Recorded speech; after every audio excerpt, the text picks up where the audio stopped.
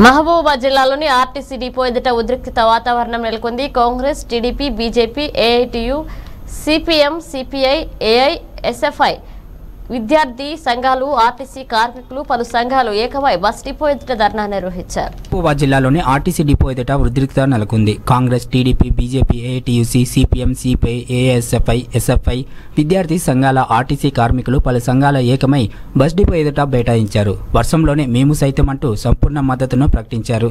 ఈ కార్యక్రమంలో పాల్గొన్న ఆర్టీసీ కార్మికులు పలు సంఘాల నిరసనలో పాల్గొన్నారు. पेंट पहन लेंगे। ఒక నయానో భయానో లేకపోతే ఇంకో పద్ధతుల్లో కనబడుతుంది అందరికీ. రకరకాల పద్ధతుల్లో వాళ్ళని బెదిరించడానికి వాళ్ళని భయప్రాంతాలకు గురి చేయడానికి వాళ్ళ కుటుంబాల నుంచి ఒత్తిడి తీసుకురావడానికి నువ్వు చేస్తున్న ప్రయత్నాలు కనబడుతూనే ఉన్నాయి. కానీ అవి చెల్లేటట్టు కనబ అవి నెరవేరేటట్టు కనబడట్లేదన్న విషయం ఇక్కడ స్పష్టంగా కనిపిస్తూ ఉంది. ఇందాక ఇందాక చెట్టు దగ్గర ఒక వ్యక్తి మాట్లాడుతూ ఒక మిత్రుడు జర్నలిస్ట్ మిత్రుడు మాట్లాడుతూ కేసీఆర్ని తరిమి కొట్టిన మన నిజాం నిరంకుశ పాలనని తరిమి కొట్టిన చరిత్ర మనది. ఒడిశాలో చెప్పిన చరిత్ర మనది అని మాట్లాడిండు. కానీ ఇక్కడ మనం గుర్తుపెట్టుకోవాల్సిన విషయం ఆ నిజాంని కీర్తించిన చరిత్ర కేసీఆర్ది. నిజాంని పొగిడిన చరిత్ర కేసీఆర్ది.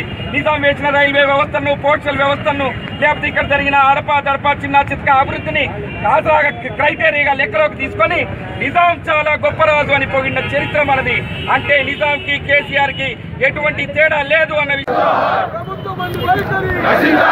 పార్టీలు కలిసి మాట్లాడుతున్నాయంటే ఆర్- ఆర్టీసీ కార్మికుల కష్టాలు వాళ్ళకి తెలుసు కాబట్టి ఇవాళ ఒక నూనె కొనాలంటే ఒక కేజీ రెండు వందలు ఉంది. మేము పదహారు వందల జీతం ఉన్నప్పుడు యాభై రూపాయల ప్యాకెట్ ఉంది. యాభై రూపాయల కేజీ కొనుక్కొచ్చి ఆనాడు వెళ్ళింది కానీ ఈనాడు పదిహేను వేలు జీతం వచ్చినా మాకు సరిపోవట్లేదు సార్ అని అడుక్కుంటున్నాం. మేము మీకు దయచేసి మా కష్టాలను తెలియజేసుకోండి అని అంటున్నాం కానీ చర్చలు లేవు. నేను చెప్పిందే వేదం. నేను ఒక్కడే నీతివంతుణ్ణి.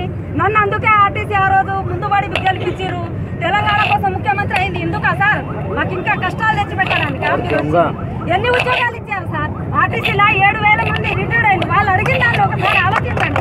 ఏడు వేల మంది పిల్లలు చదువుకొని బీటెక్లు ఎంటెక్లు చేసి ఖాళీగా ఉంటున్నారు. వాళ్ళకు ఉద్యోగాలు ఇవ్వండి. వాళ్ళకు బంగారు తెలంగాణ అని అంటే చూపియండి మాకు.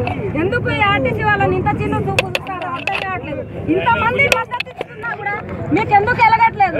ప్రజల ప్రజలు మా వెనక ఉన్నారంటే అది మాకు అన్యాయం జరిగిందనే సార్. దయచేసి అర్థం చేసుకోండి. అదని అర్థం చేసుకొని ఆర్టీసీ వాళ్ళ తరఫున వచ్చిన వాళ్ళందరికీ